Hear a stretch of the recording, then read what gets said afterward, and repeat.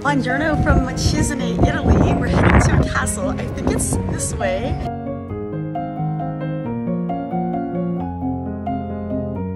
Ah, it looks like this is our sign for the castle.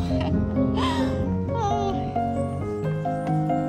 It's an arrow.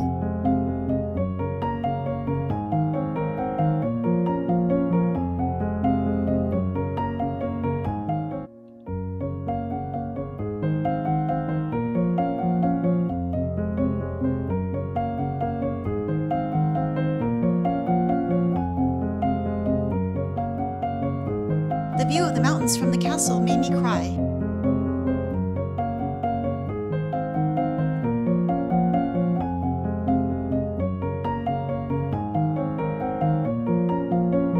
Thank you for exploring Mount with me.